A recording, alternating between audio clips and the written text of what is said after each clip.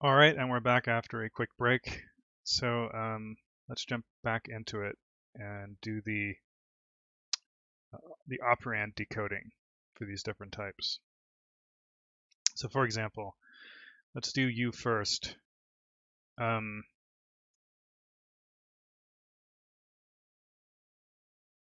no, that's not right. So in this case, what are the things we're decoding?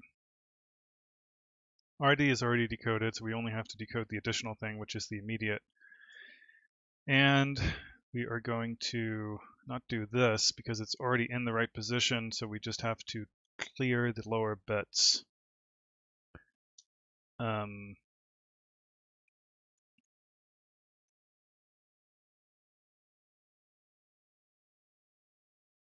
which I guess would be like this.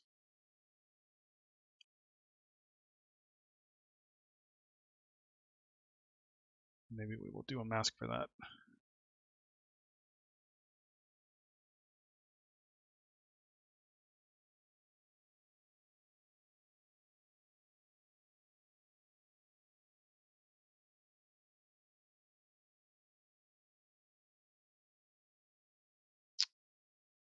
I guess the lower, no, 12, it would be 12, right? So there's 12, 7 plus 5. Um, so this has all, has 12 lower bits set, and so if we flip it, I that would be it. Um,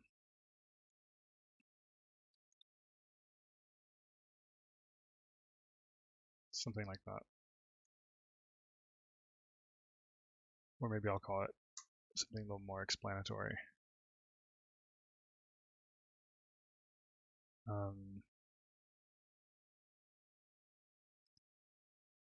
J is party time and a half because it has sliced up and permuted bits. Let's do another one first. Uh, R has nothing to decode, it looks like. Did we actually... I guess that's something we didn't do down here. Uh, we didn't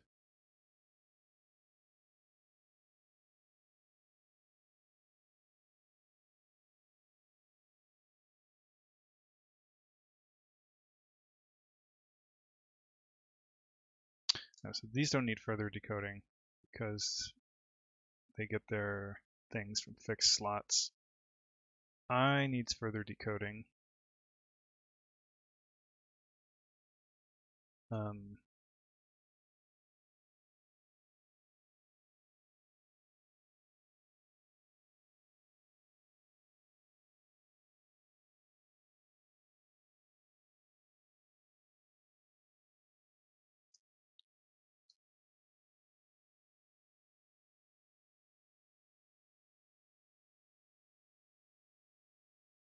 um,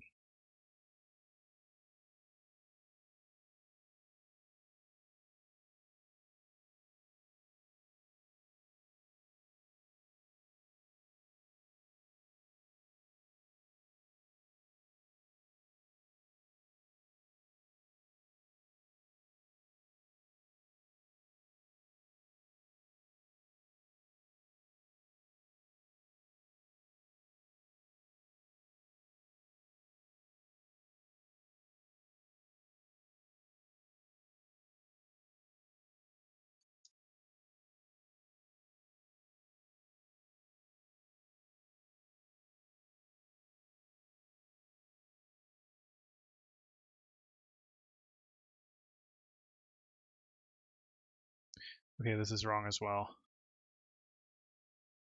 Um,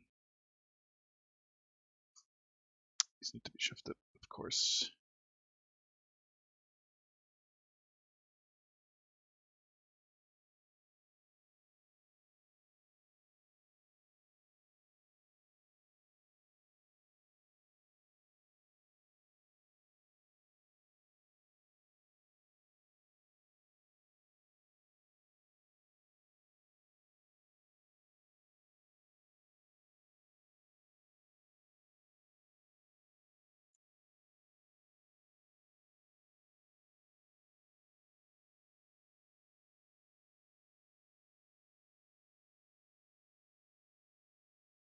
Guess if I define this first, then I can actually use it in both directions.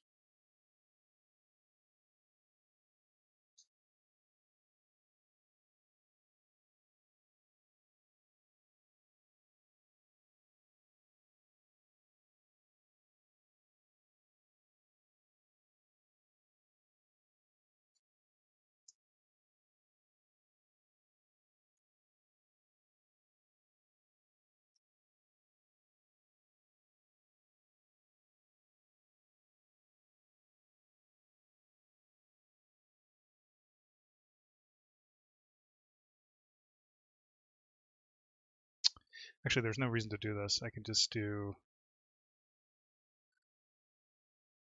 uh, shift it over and then mask it.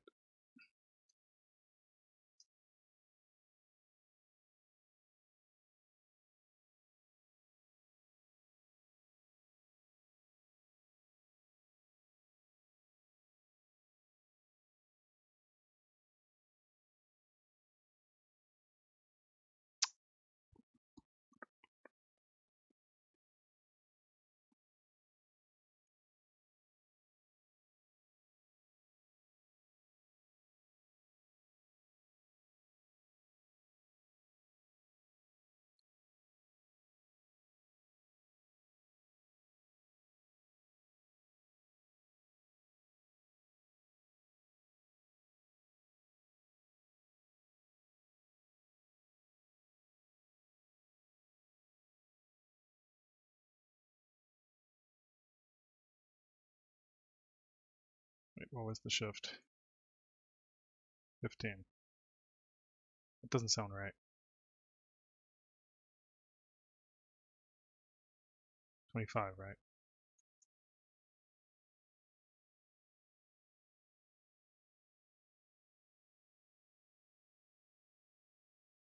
Could actually write it like this. Now that the precedence is right, but why not? Why?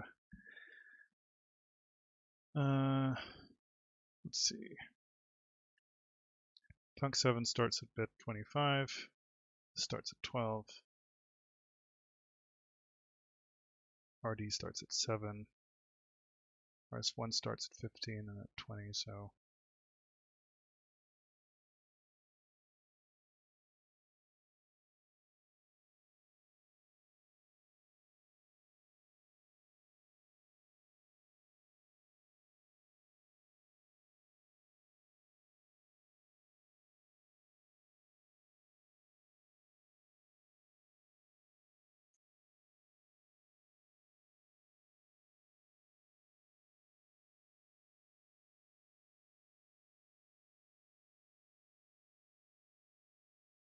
Yeah, I'm not completely sure about some of this stuff, but uh, let's see. So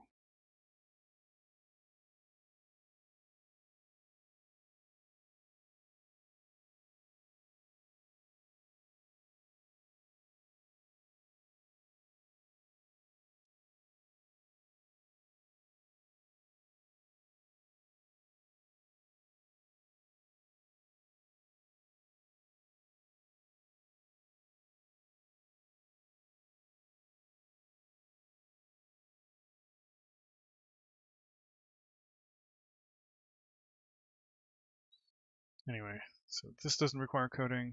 Clean it up. I, let's do I.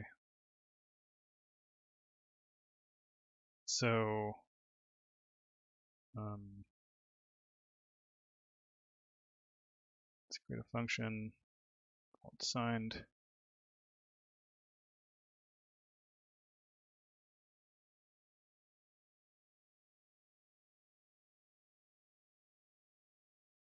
Which despite the fact that it's a reserved word in C is no problem for us because of the way we do the prefixing.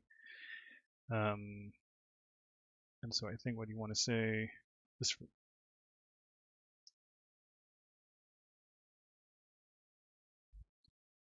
let's see. So I I starts at 20. Oh, so it's already in the right position for sign extension, which is convenient. Because it means if we just do an arithmetic right shift, um,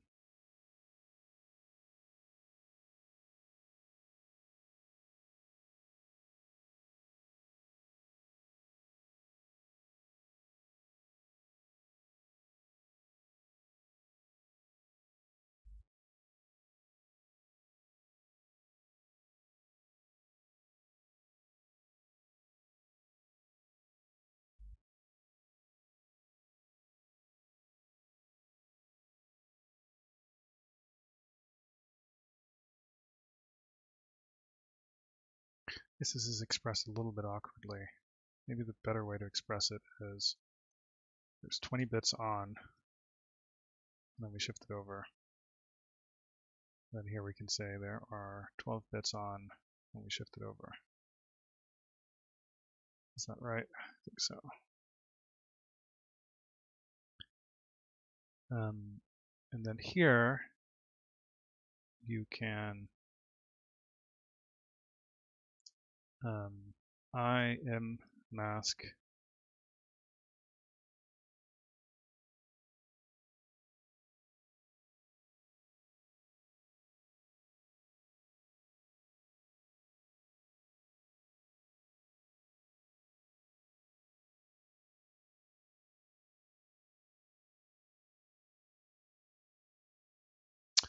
Yeah, yeah, let's not do this conversion. It's a little too clever. Let's just do it like this.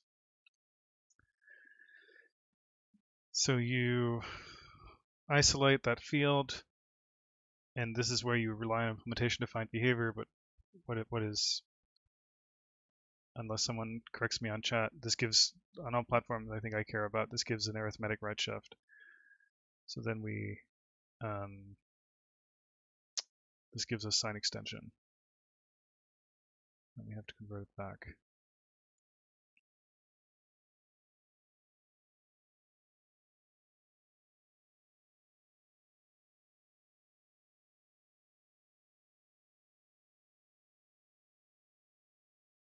Because basically the idea is that the sign bit is already in the right position, so when we right shift it, it smears it over the bits we're shifting over. So it's just a matter of putting this down 20 bits. I think that's it. Um, for S,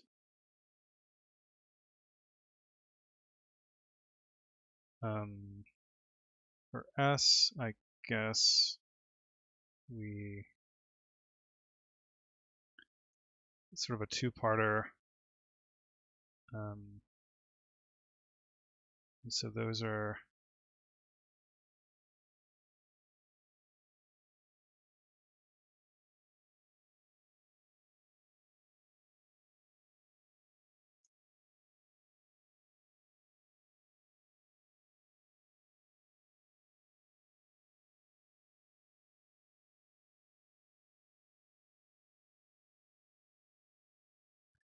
that's 7 bits, I guess.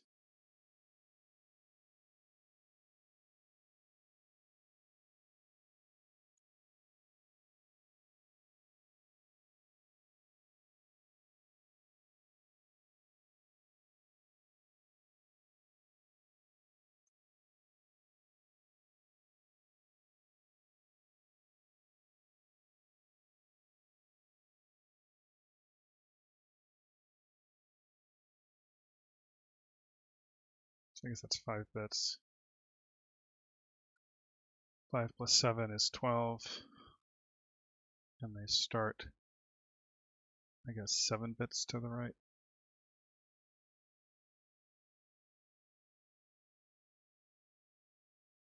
I guess you really want to have a thing here.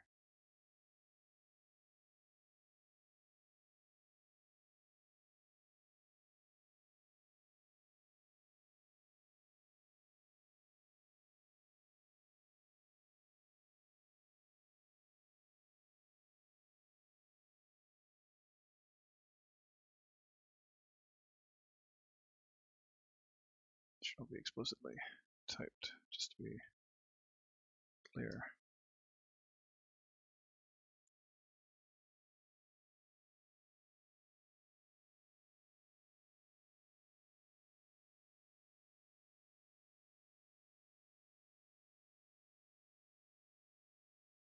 Um,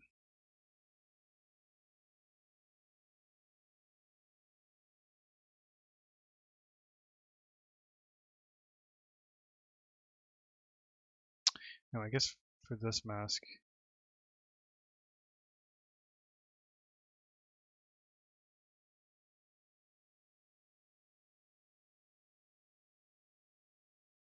maybe I do want it like that. Just like that for now. and so I guess I want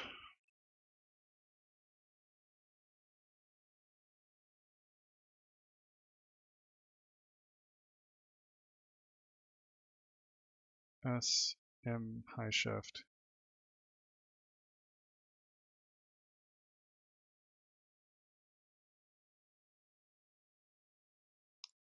No, I want it to be shifted down to by by 20, right?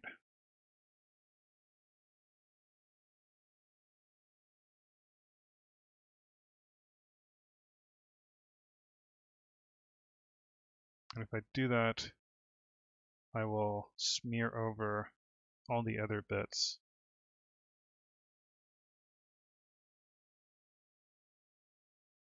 Then I have to shift this over by 7. So I think that's how I want to do it. So actually, I don't need a mask at all. I can just do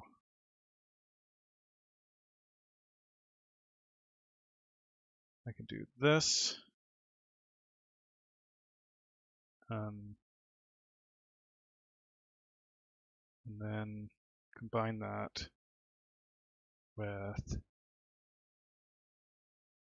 um,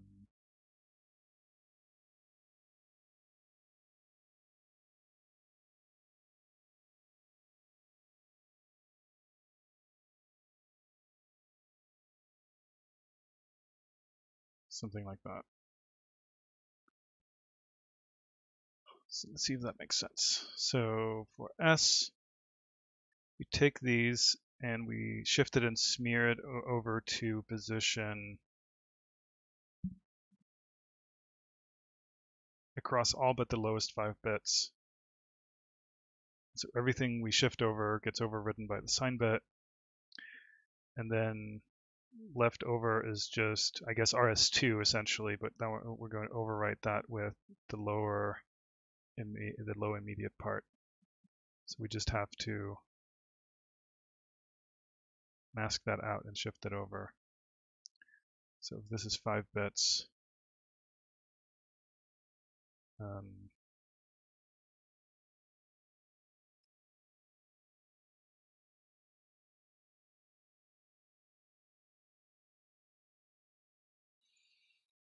seven bits. No, it shouldn't be so. Seven minus five is. No, it has to be shifted all the way down, of course. So I think that is seven.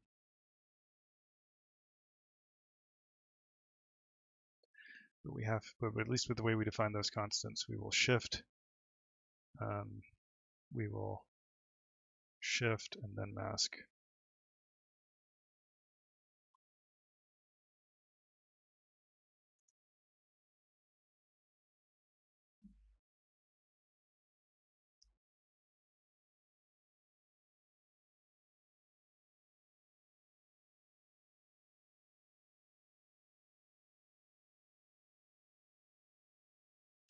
Uh, CSR JB. Let's do those branch instructions, even though they're quite annoying. Um,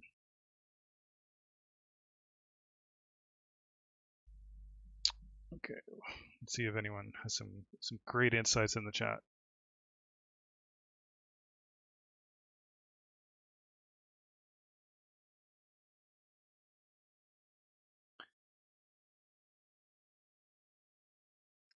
Hey Fabian or, or Sean or anyone who knows, um, are there any platforms where in C where the C compiler does not do an arithmetic right shift if you do it on um, if you do it on assigned integer? I know that it's not guaranteed by the standard. The standard says it's implementation defined, but do you know of a practical compiler where that happens that way.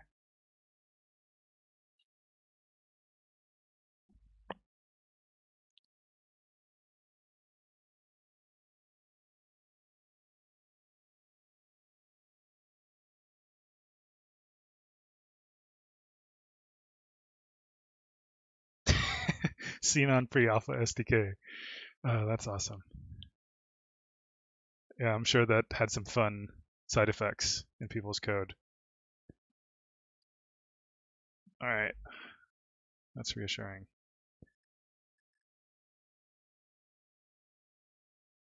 Um,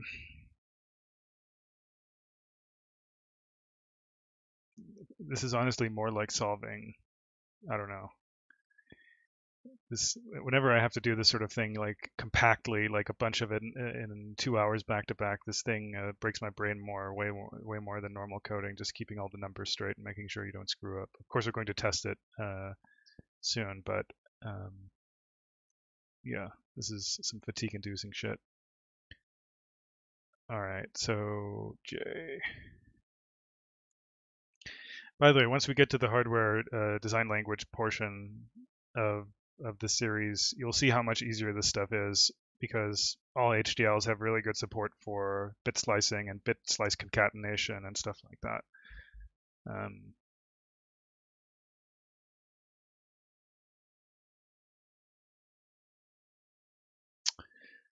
oh, decode S. Let's see. So let me take it one part at a time. This thing already has the signed bit in the right position, so I cast it to assigned int and then do the shift. And so this should smear it there. Uh, I think you need to shift left the high part again.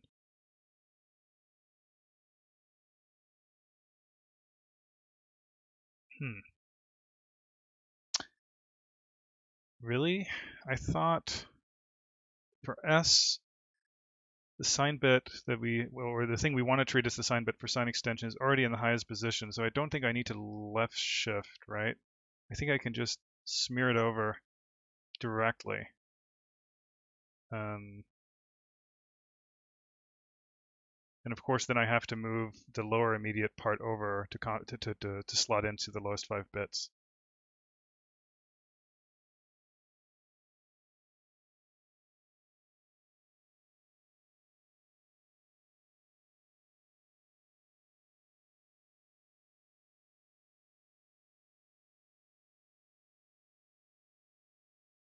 You need to left shift because you're producing a 12.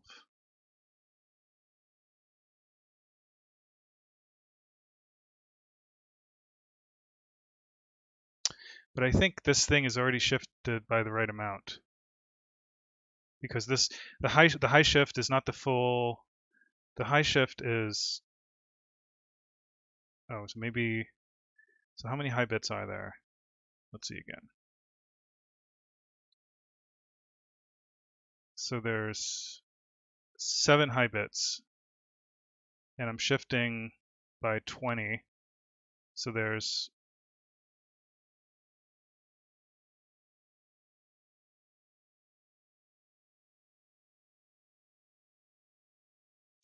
Oh, I see what you're saying. Because I'm oring in the the old lower bits. I gotcha. I gotcha. Yep, yep. I, I'm I'm with you now. I still have the what you call it I still have the RS2 junk that's going to get ORed in with the uh, lower immediate because this thing is residual from that. All right, I'm with you now. Um, so yeah, the easier the easier way to do it is just to do it all the way. So 32 minus, uh, just do the full 25 shift and then shift back by um,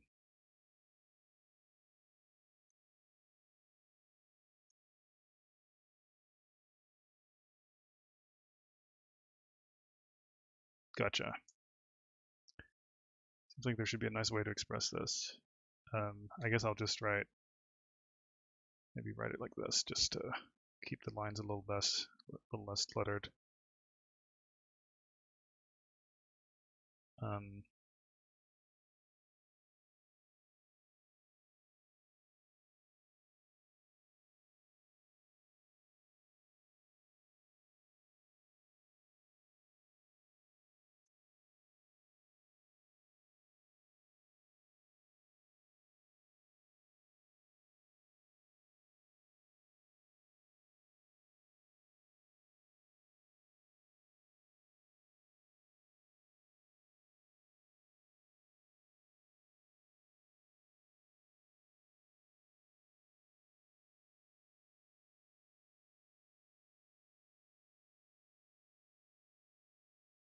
All right.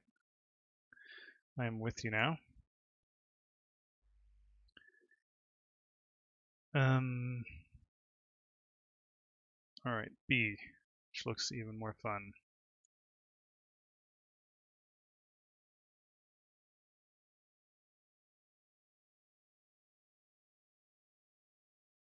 Um, so B,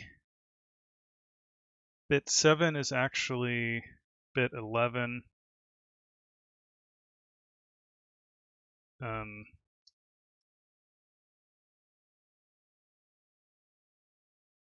I'm going to not be super optimal about this because otherwise I'm going to make big mistakes probably.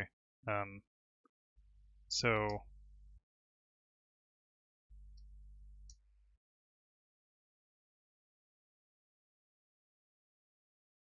by the way, this has the right precedence before anyone uh, mentions it.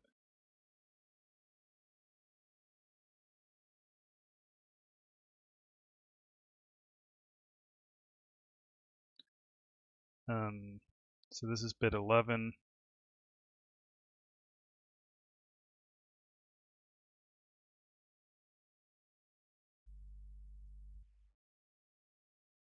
Oh, this is awkward.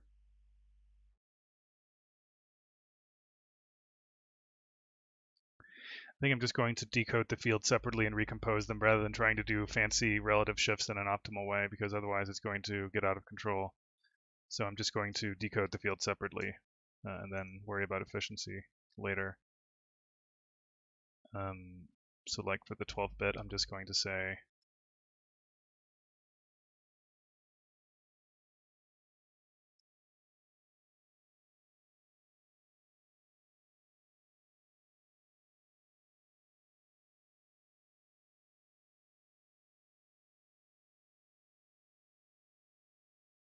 hmm.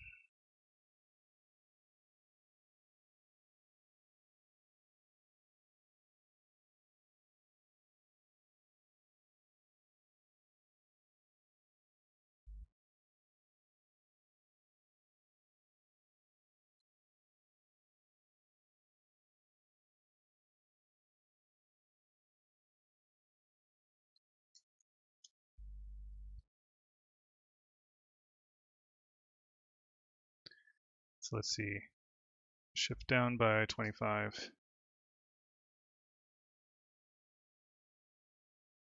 Um, shift down by 25 and isolate the six bits. Um,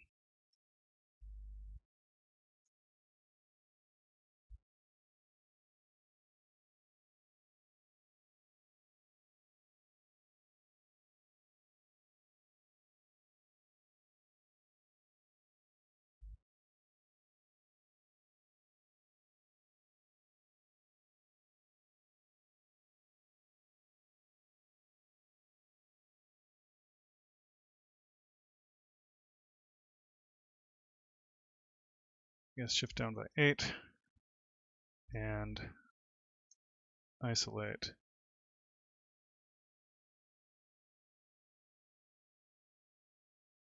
So this is 5 bits. We are taking 4 of them, I suppose. Then we're going to recompose these.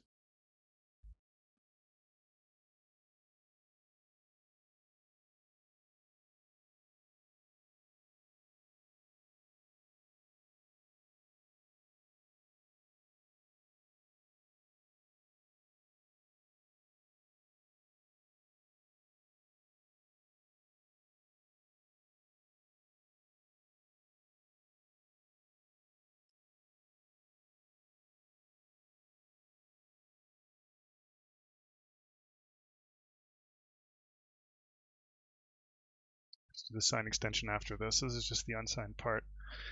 Um,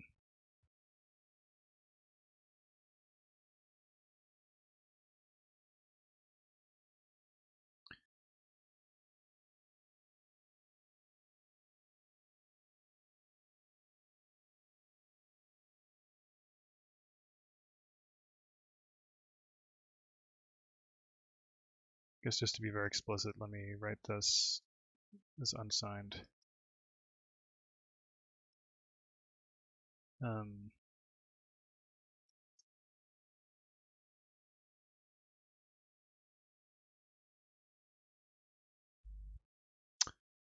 and then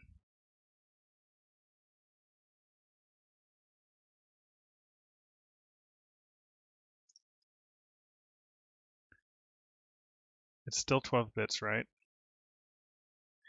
It, no, it's not 12. It's actually 13 because it, there's an implicit, because of the instruction alignment, there's an implicit bottom bit of zero. So I don't shift over by 20, I shift over by 19, I think. Um, and then I shift back by 19. And I make it back. Ugh. Probability of this kind of code being right is very low.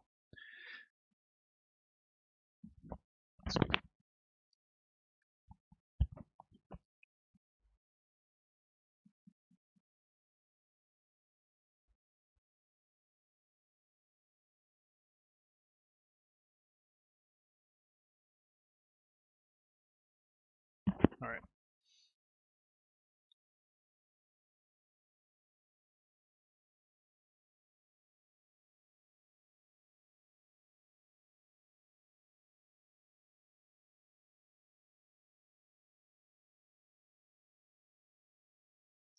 This, by the way, in, case so you saw the idiom where I was only smearing right. Most of the time, if you're if you're using arithmetic right shift to do sign extension, for example, if you have a byte you want to sign extend to a 32-bit word, you you would typically use this kind of technique where you first you, you do what looks like a a no-op, but because of the the arithmetic right shift, it's actually not a no-op. Well, yeah, it it fills in the upper bits with ones if it's a signed byte, for example. But anyway, so that's the thing we're doing there. We didn't need to do the, the we didn't need to do the left shift in the other cases because the sign bit was already in the right position, so we could just do a start with a right shift, arithmetic right shift. Um, alrighty. And yeah, this is the extra stream.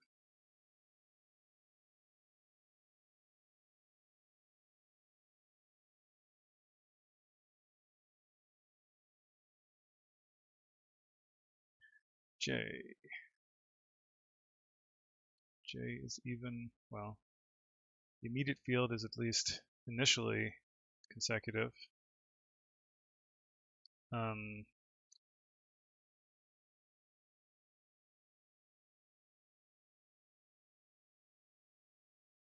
this is JAL, right, right, right.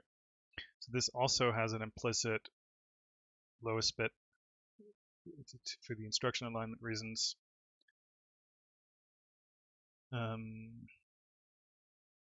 I mean, let's just do the same thing here, I guess.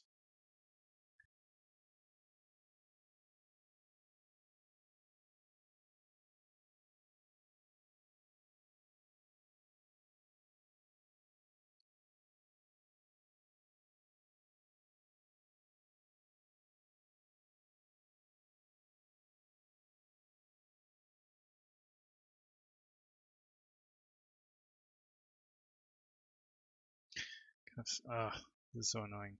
Um, yeah, whatever. Uh, data.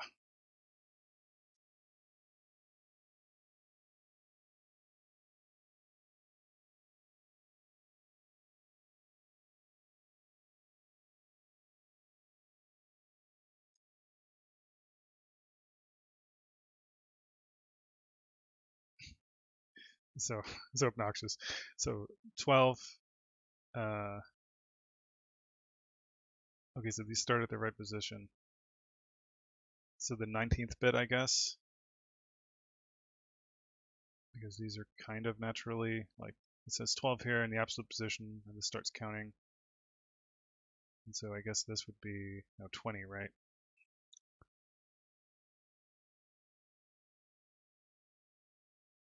And then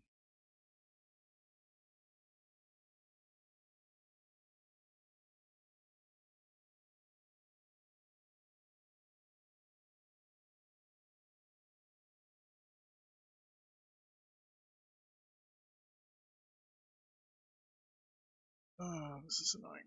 Is there another, so I don't have to do all this mental math to uh,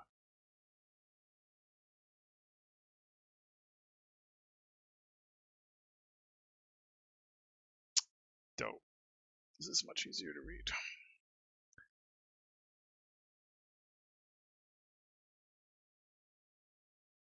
So anyway, it is 20. And this thing is 21. Um,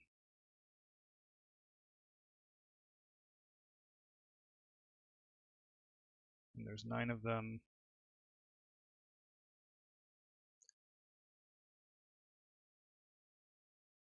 No, there's 10 actually because it's inclusive.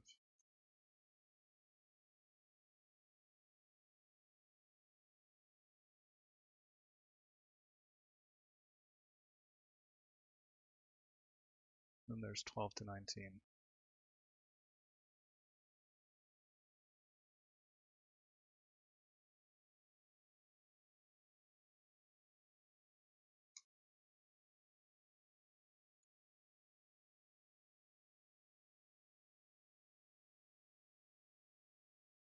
Hmm.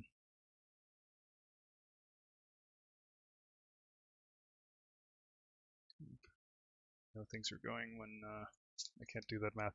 I'm so. This is one of the things when I started doing hardware stuff. The fact that everyone counts with inclusive upper bounds always throws me off because I'm used to subtracting the upper and lower bound to to calculate the length of a range. So in this case, I was saying there's, you know, there's seven bits, but it's actually eight bits.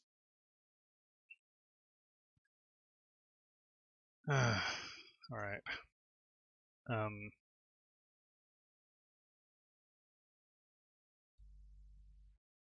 and then let us do the dance again. Shift that over by one.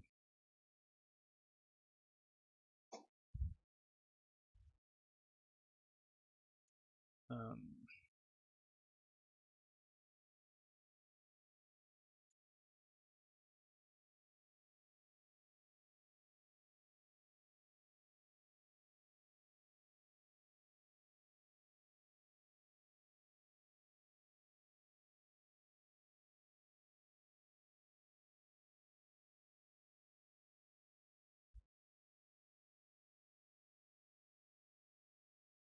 So first we have to shift it over.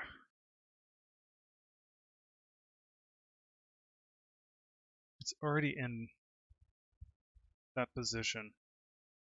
So it's we, we don't have to shift it over by 12. I guess we have to shift it over by 11, right?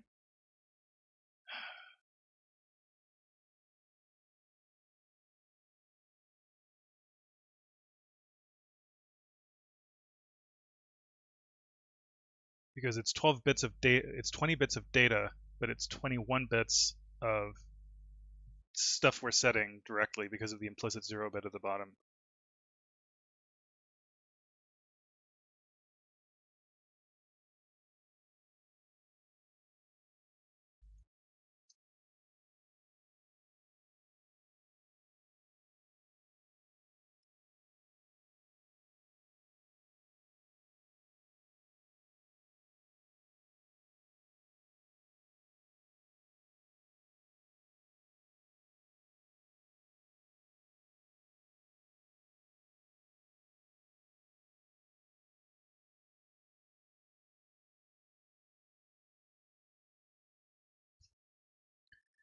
All right, where are my proofreaders? What mistakes did I make here?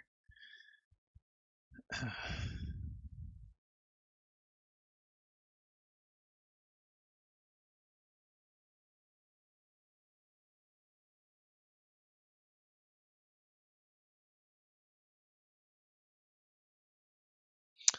could also have used this table.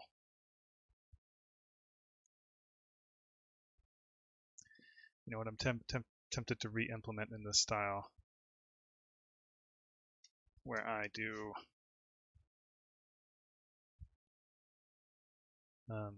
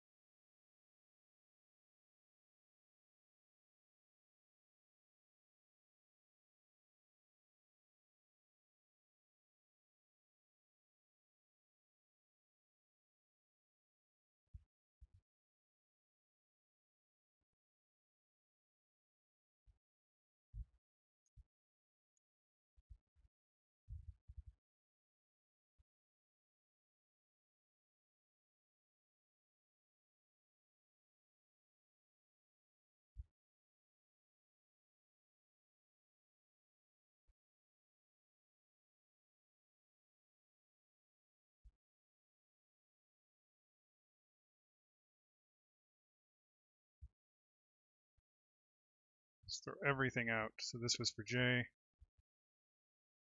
Um, okay, let's not throw everything out. Let's write it in parallel. To use this style, which I think is easier to reason about. So for J,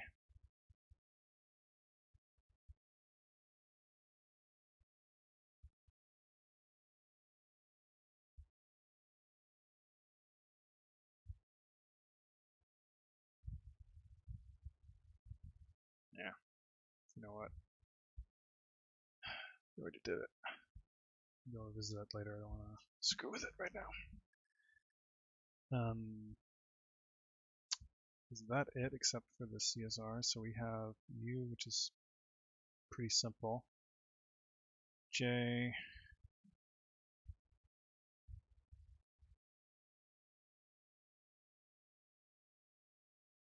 let's see here.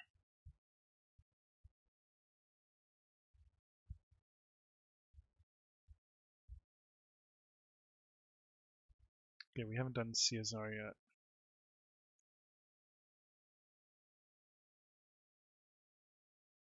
Which has a kind of un uh, unsigned extended immediate. So it's a 5-bit unsigned extended immediate. Um, which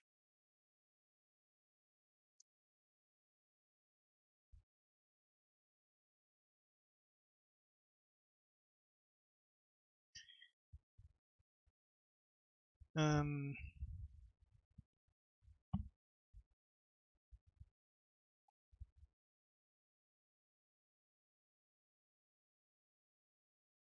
I guess since there's no other immediate in this case, the easy way to do that is to just say um, fill it in as if it was unsigned extended. So it's um,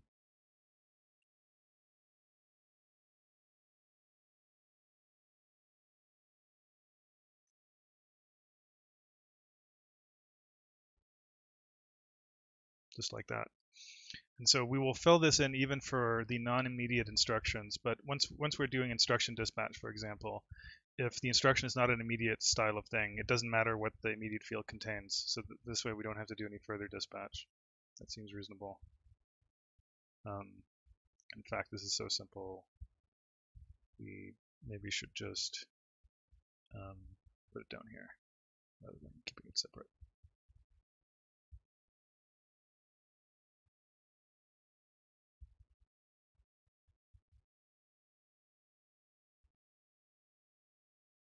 Alrighty. Um,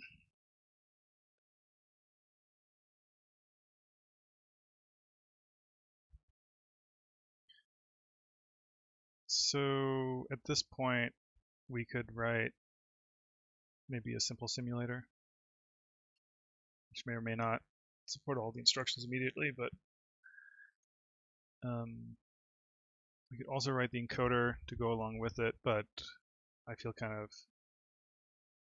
like I want to see something. Even if the instruction encoding is busted, at least we can probably get something out of it for now. Um, and so let's define, I guess, the state of a of a hardware thread, which in RISC-V terminology is called a hart. Don't ask me why. It's a cute acronym or abbreviation, I guess. Abbreviation. Um, so we have 32 registers. Now zero is a kind of a fake register, zero register, but we will still, in order to keep the array indexing simple, we will still keep it there in the array. Um, then we'll have a program counter. That's probably enough to get started. Um, as long as we don't do loads and stores and stuff. We'll stub in the other things as we need them. Um, so maybe we will start with uh, function step.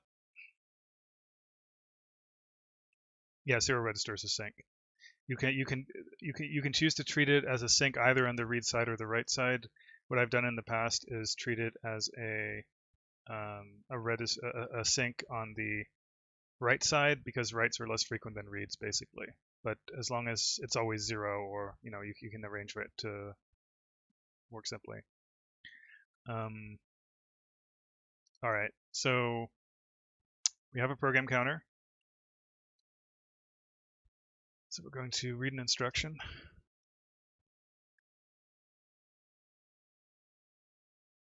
Um, we're doing de decode the instruction.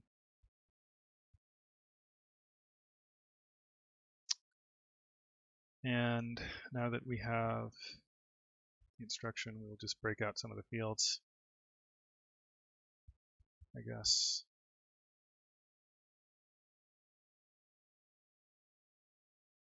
Might as well. Um,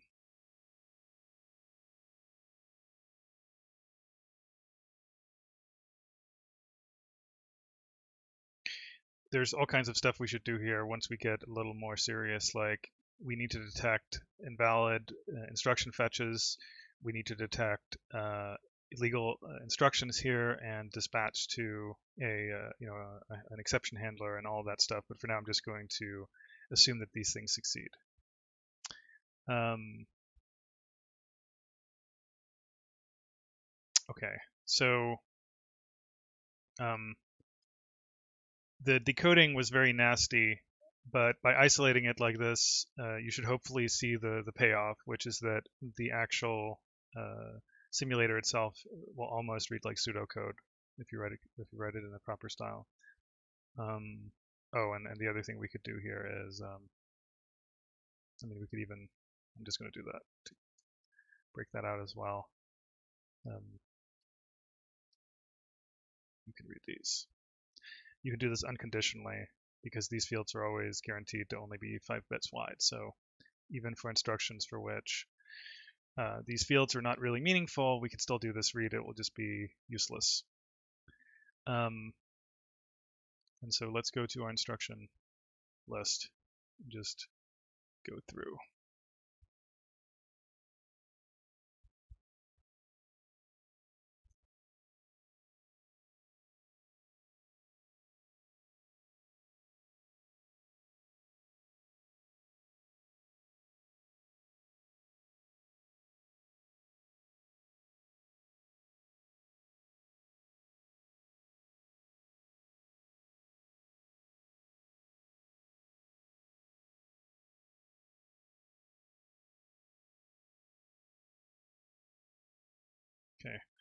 Does not quite work as well as, uh, but you know what, you know what we can do is we can do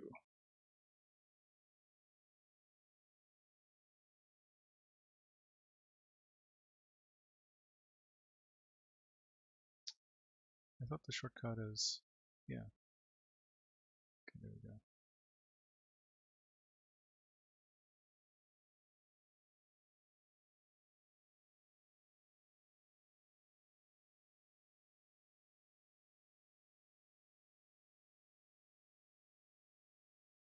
Um, all right, load, load, up per immediate. So we've already done all the work of actually making a clean immediate operand. Um, and so load up per immediate is kind of, shouldn't be a big deal at this point. You should be able to just do, um, to do this.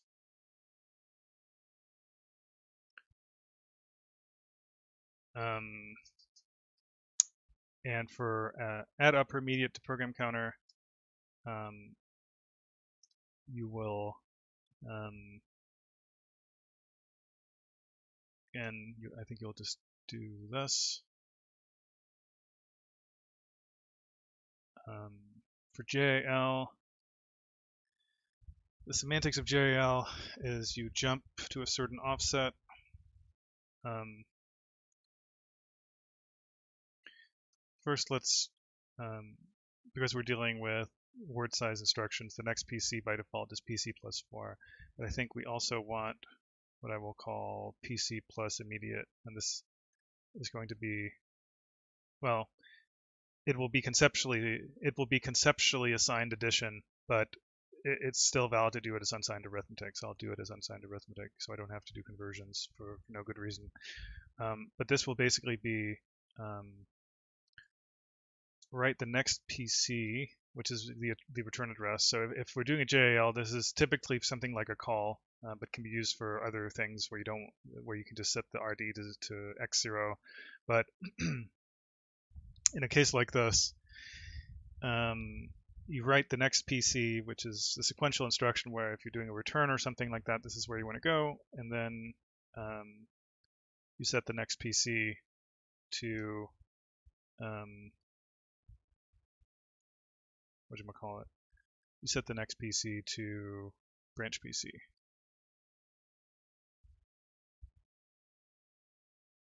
And you can actually say branch PC for this as well. It's the same computation. JALR is basically the same thing, but rather than sourcing the next PC, um, let's go and look. It's sourcing it from a register, but let me just check the specifics of um,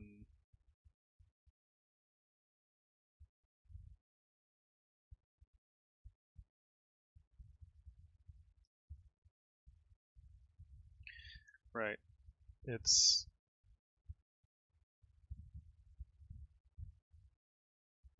it's not a relative branch uh,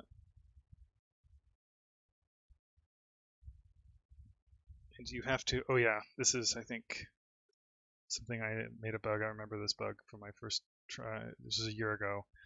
Uh, but my first time trying to do a RISC-V core was um, to had this bug, which is that I didn't zero out the least significant bit.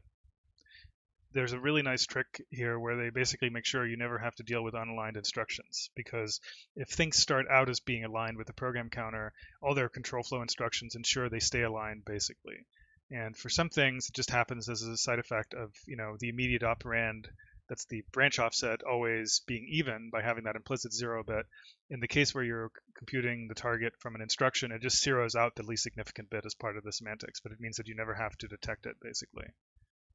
Um, so let's see, next PC is then um, RS1 val plus immediate um, rs1 val plus immediate, and then like the zeroing out the lowest bit.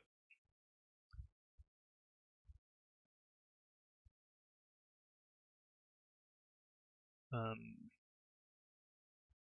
okay, uh, branch if equal if RS1 val is RS2 val, then next PC is branch PC.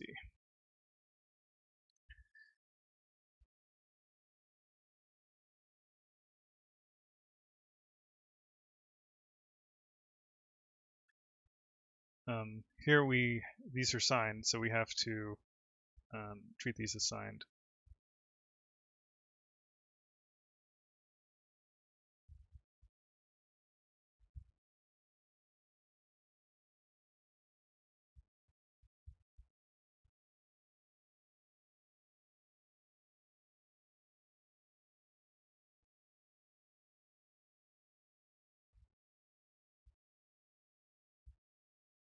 These are the unsigned counterparts.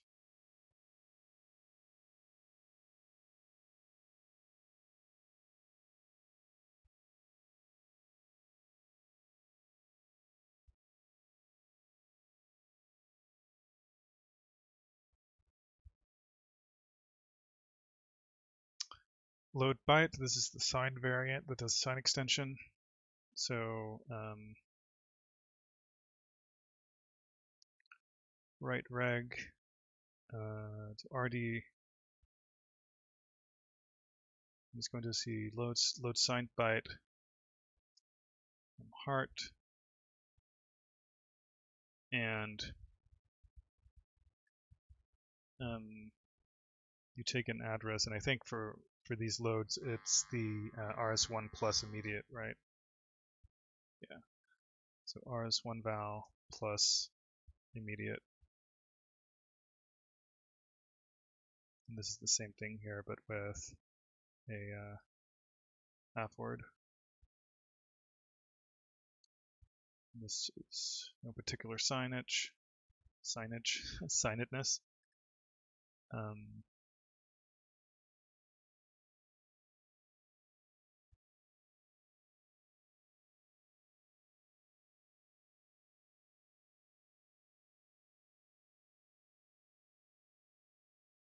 probably these should not be, I'll, I'll do the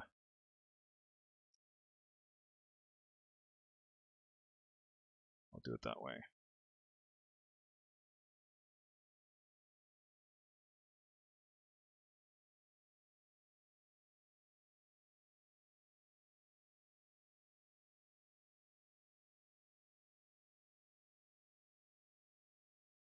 Is the same thing here, just with uh,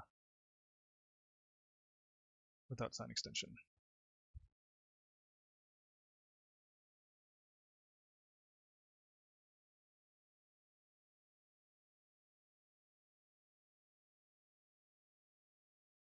Typo inline ranch. Yeah, okay.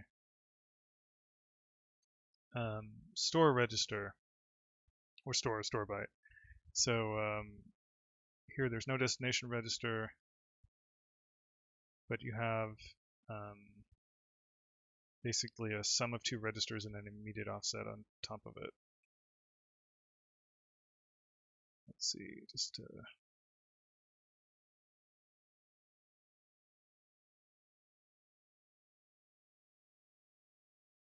Oh no, what am I talking about? RS, RS2 is the source, so it's RS2 val. It's RS1 plus immediate, right? So it's uh, store byte, um, and it's RS1 val plus immediate, and the thing we're storing is RS2 val.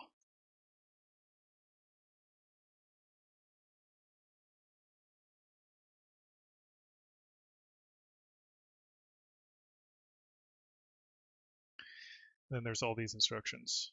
Um, so write register uh, rs1 val plus immediate.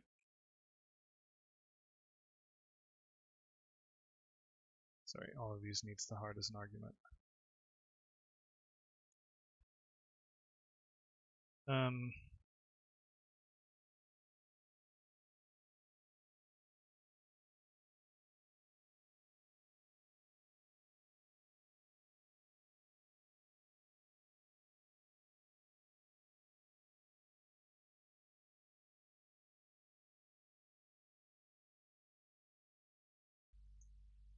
XOR or and um, this is the the shift amount. I'm trying to remember. I guarantee that it's no wider than. Let me, let me just verify it, but I should guarantee that it's no wider than uh, right RD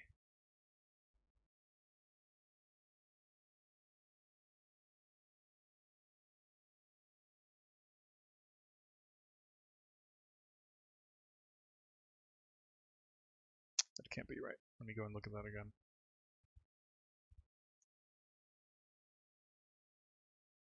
So this was SLLI.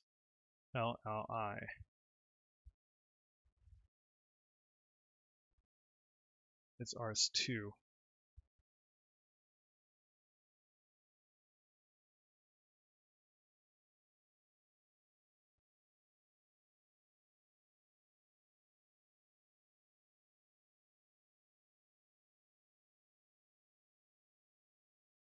I think this is also wrong. Do this, and then you say, if this is not the case, then you say this is an illegal op, because it's already been set up here.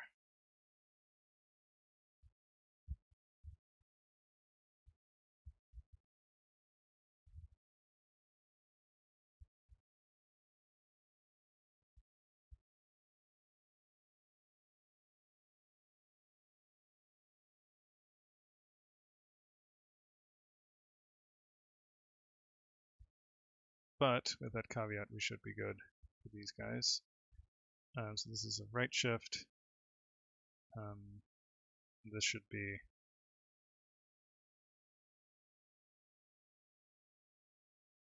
that's fine.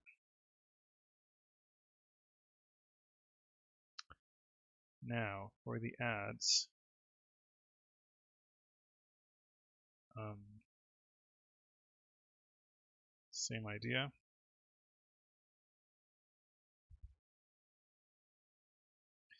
With the caveat that there's a shift mask. We already have something like that.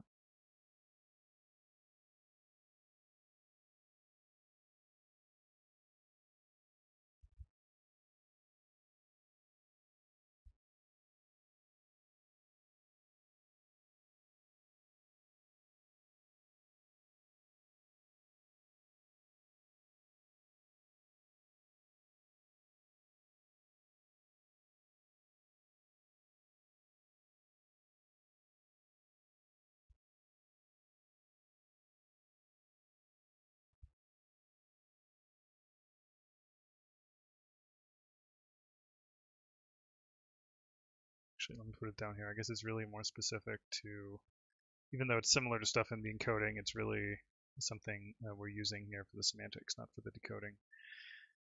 Um, so basically this is to make sure when we were using, when we were doing the shift with the immediate operands, the decoding had already made sure that they were no no wider than, you know, at, at five bits at most, right? Um, but here, since it's sourced from a register, we can't know in advance what it is, and we have to mask it according to the semantics. Um, this is a signed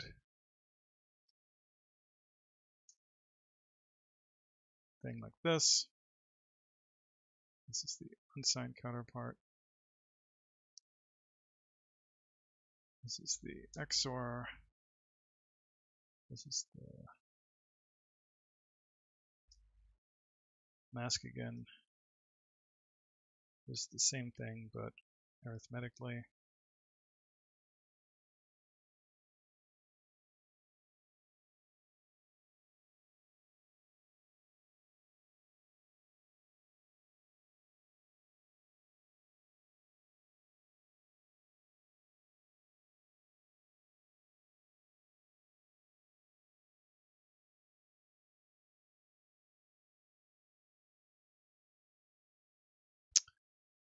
Ecall um,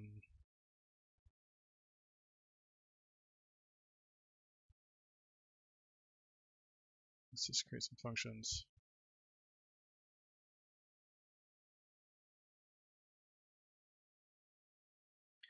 Um, okay, let's do these CSR things.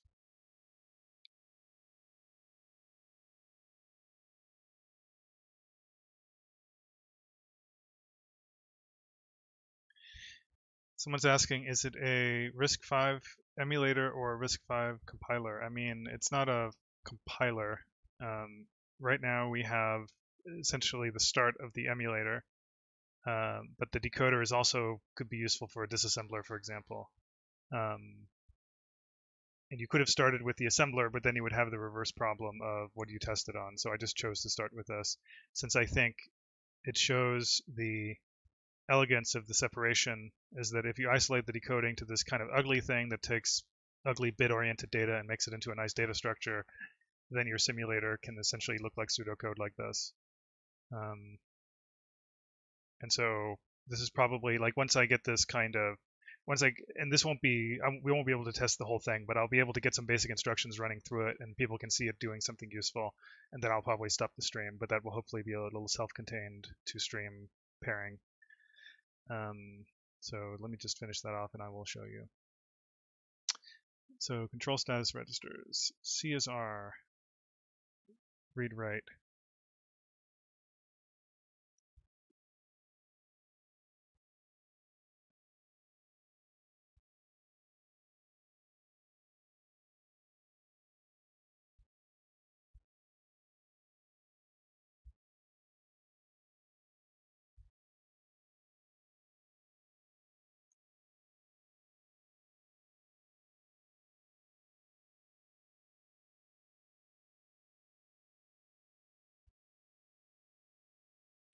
So let's see, the CSR is 12 bits.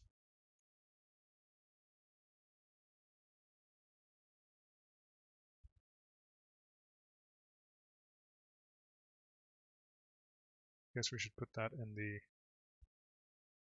where did we do the instruction definition? Here. Um,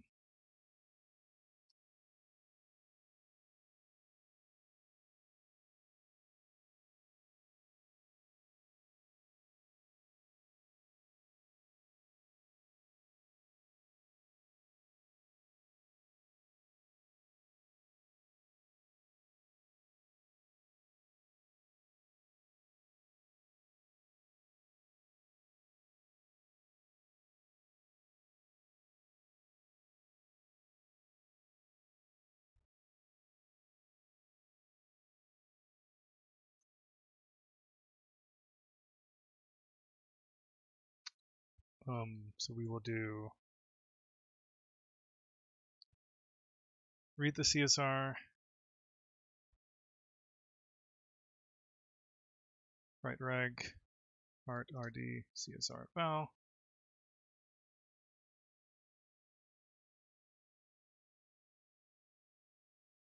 And by the way, this kind of thing you definitely cannot pre-read outside of the loop because reading and writing CSRs has side effects just like reading and writing memory can have side effects through all kinds of stuff, memory mapped I/O or just memory errors. Um, well, writing obviously has side effects, but even reading can have side effects. Um, reads the old value, writes it to RD. Um, the initial value in RS1 is written to the CSR.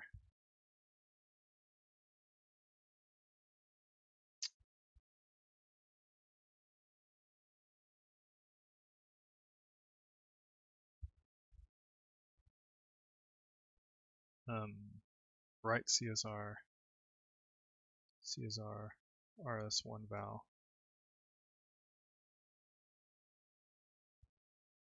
Let's see, reads the old value, zero extension, let's not worry about that. It's done by the routine, writes it to RD. So read the CSR value, write it to RD, then write RS1 val to um, to the CSR if I see. So we should only right. So only so here we can't just rely on the sort of dev null effect of um, like write reg itself is normally handles the fact that if you write to zero, it doesn't do anything, for example. Um, but here, because there's a side effect associated with it, we actually have to guard it manually. That makes sense. Um, atomic read and set bits.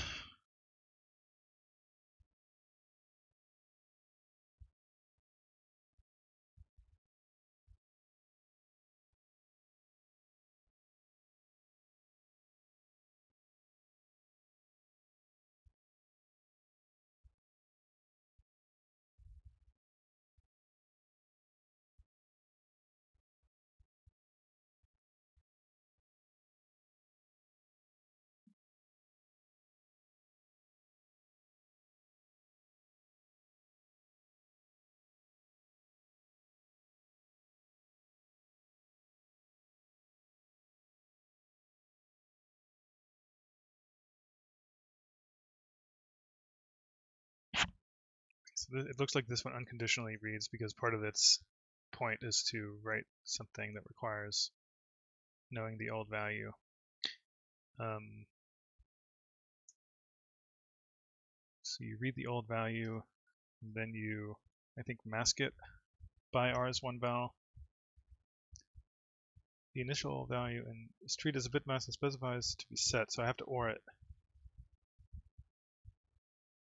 Any bit that is high in RS1 will cause that corresponding bit to be set, if that bit is writable.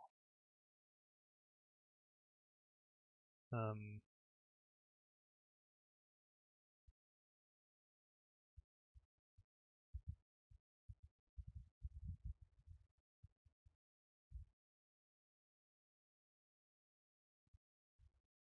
I think we have to write that back before we modify it. Then we have to write this back afterwards.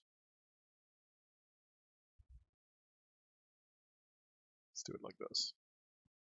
Read the old value, write it to the destination register. So here we do it unconditionally because there's a read modify write. So we have to always know the value in order to execute the operation. Whereas here, there's actually no dependency on the of the new value on the old value. That's why we it's it's it can be guarded.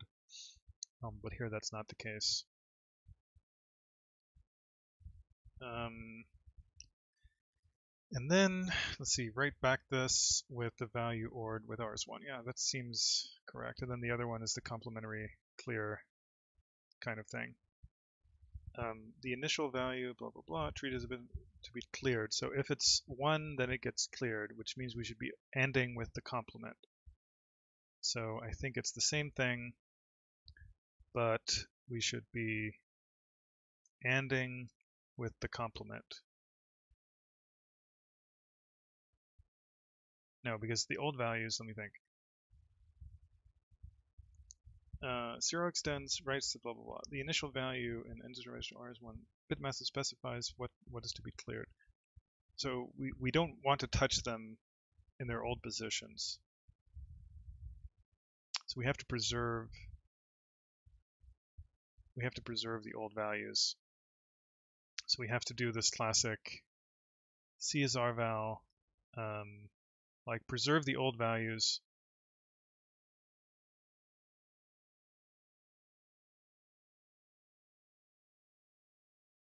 I guess that is right, actually, now that I think about it.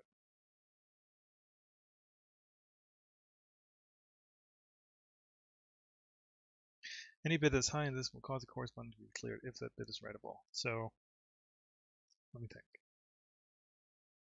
If we flip the mask and and it, then all the other bits are preserved. So it's, yeah, so that is actually correct. Um, oh,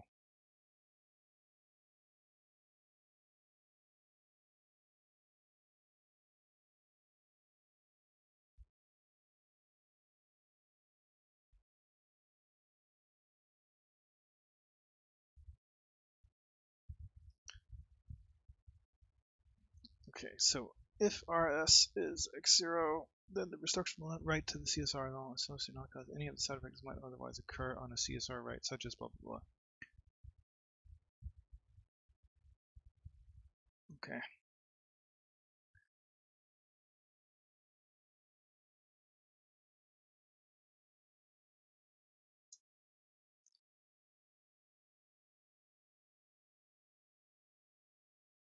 That's how I'm reading that.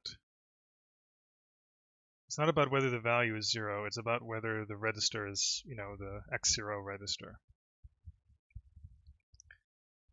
I guess we need to do this too here. But they don't really specify um,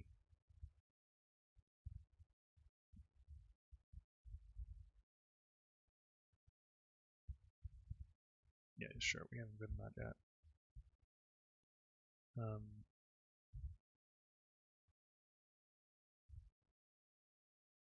let's just stub this in. And then for, for read reg, um,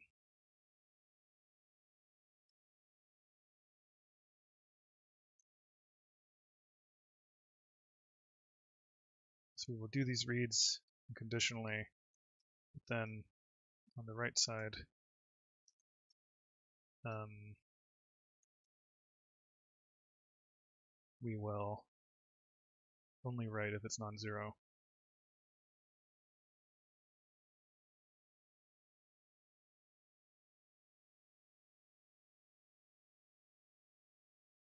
And then we also had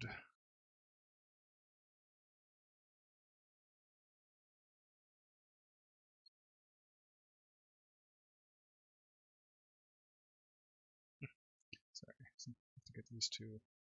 Still make this mistake sometimes. So we also need these for uh, and half word. Let's do the sign extension right now.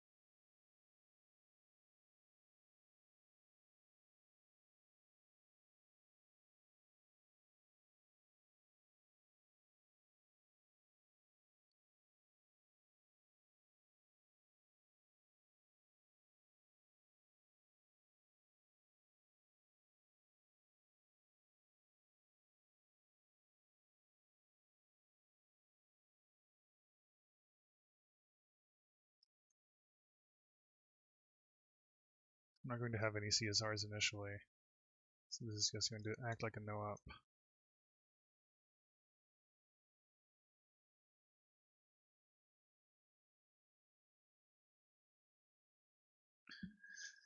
Um, okay.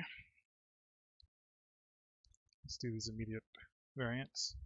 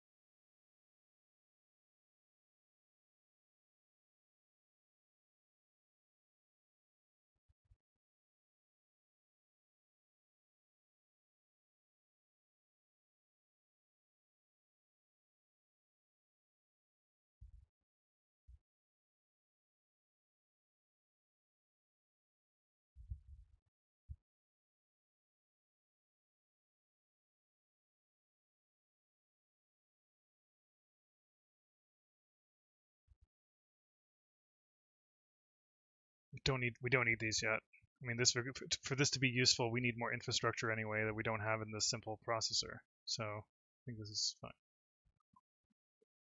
Um, okay, we have to do some stuff after this routine. The main thing is just um, updating the program counter because we have this next PC thing.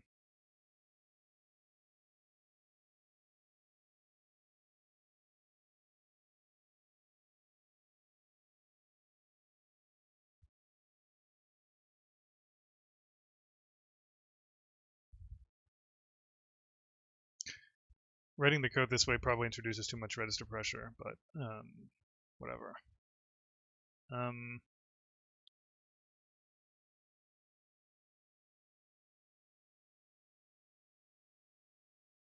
guess we need to do some at least simple instruction encoder. No, we don't. Yes, we do. Fuck it. guess let's just do it. Let us just do it. Uh, we don't have loading and saving right now, but um, let's wait for a second to do that.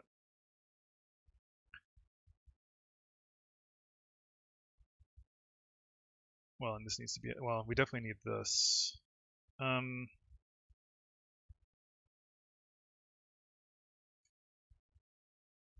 let's do something simple-minded. Um,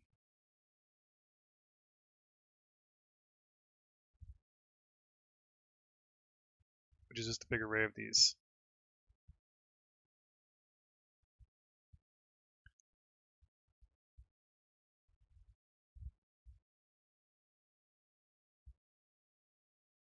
Um, if adder plus 4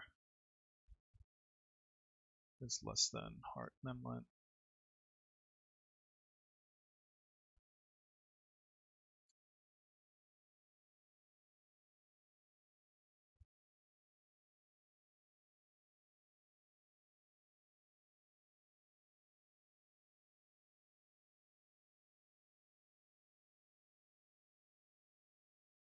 else we'll just return zero.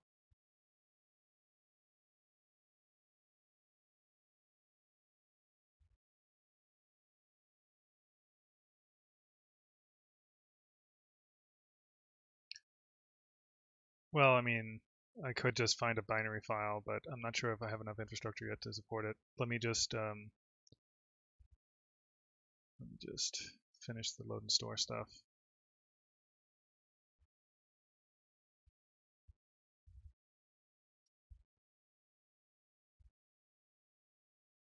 This is, by the way, assuming the host processor can do unaligned um,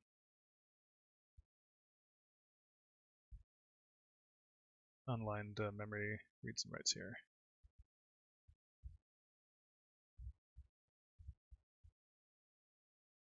I guess actually this would be 3. Let me think. Plus 0 should be less than. Yeah,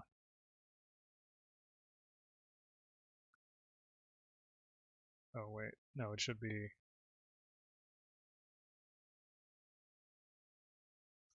should be like this.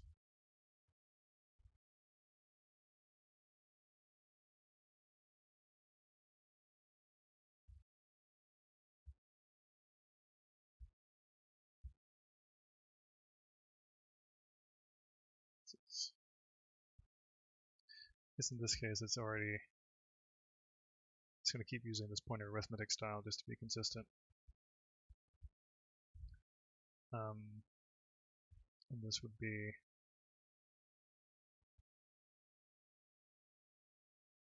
plus 1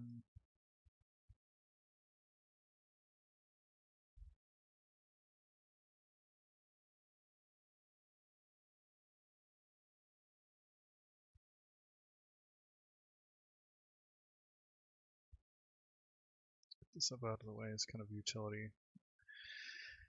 Um, byte one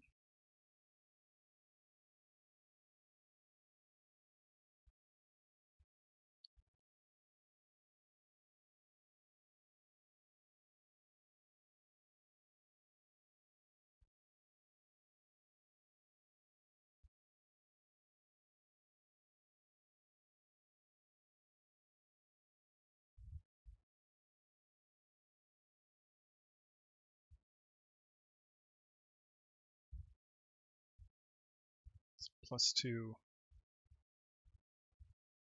It's not right, it is plus 1. Um,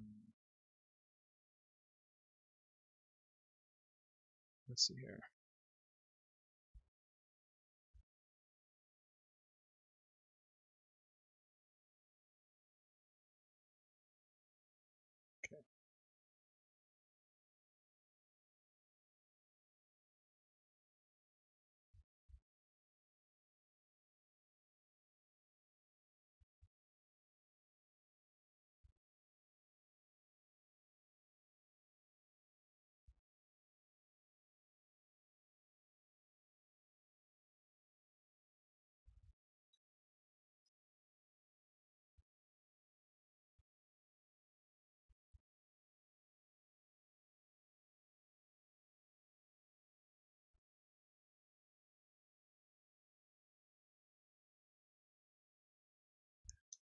Could download the assembler, build an image, but I don't know if there's anything that's so anemic in terms of its requirements that um,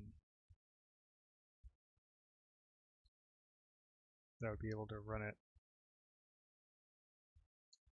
Yeah. don't want to deal with that right now. We're, I'm gonna maybe work on that off stream to get some better stuff stood up in terms of uh, external tests. Um,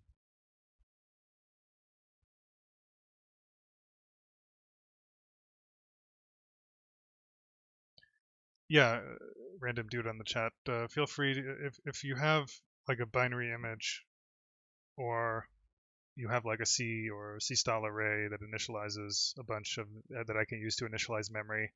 That's really what I need. I need a way to initialize memory with something that we can test with. I mean, I could do it by by by hand, but that would not be useful beyond a few simple instructions.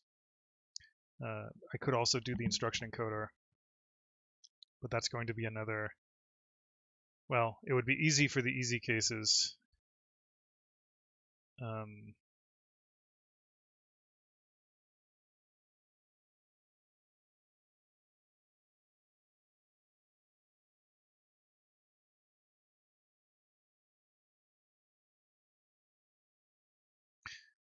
let's see here. I mean, I could do something very simple if people want to see it. I guess the first thing that would might that, that might be useful is um, print hart state. Just for debugging.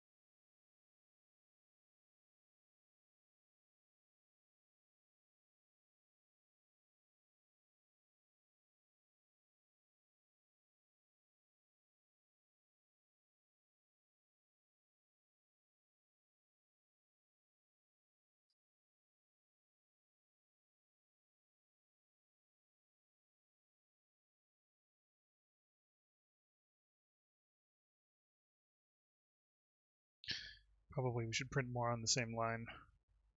Um, yeah, let's do that.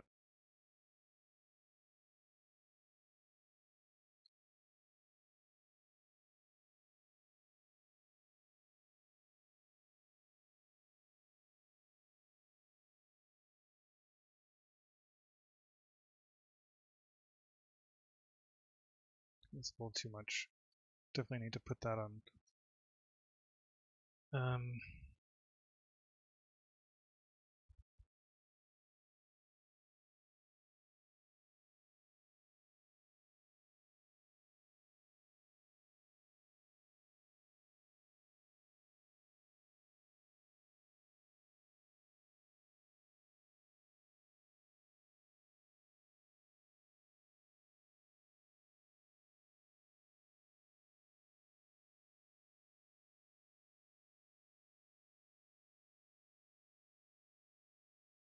that was the wrong kind of alignment. Um, I guess we don't really want that there.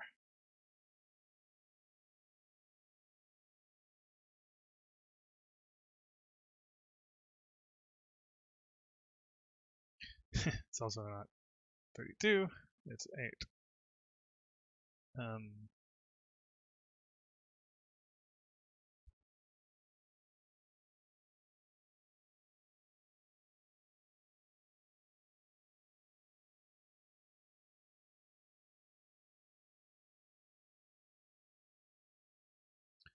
Okay.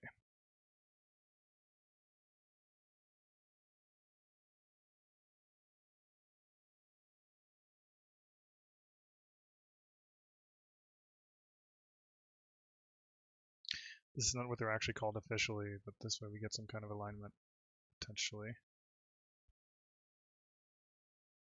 This is bullshit. Doesn't really help. Um, guess let's just do it like that for now.